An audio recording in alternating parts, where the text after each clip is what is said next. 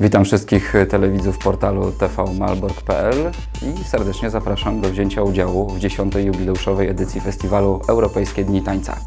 To już najbliższa sobota, 23 kwietnia. Spotykamy się tradycyjnie w sali widowiskowo-sportowej Gimnazjum nr 3 przy ulicy Wibickiego. Y, Dużo tańca, dużo kolorowego, barwnego widowiska, mnóstwo energii, mnóstwo uśmiechu, no a przede wszystkim y, fantastyczne zespoły, które zmierzają do nas y, z całej Polski.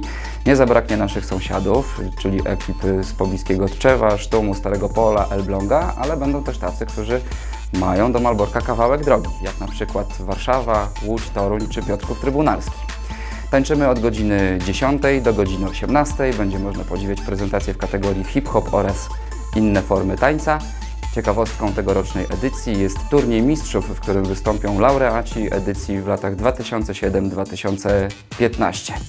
Jeżeli nie wiecie, jak zagospodarować czas y, w sobotnie przedpołudnie czy też popołudnie, serdecznie zapraszamy do sali widowiskowo-sportowej Gimnazjum nr 3 w Malborku. Dziesiąta edycja Europejskich Dni Tańca. Na pewno warto to zobaczyć.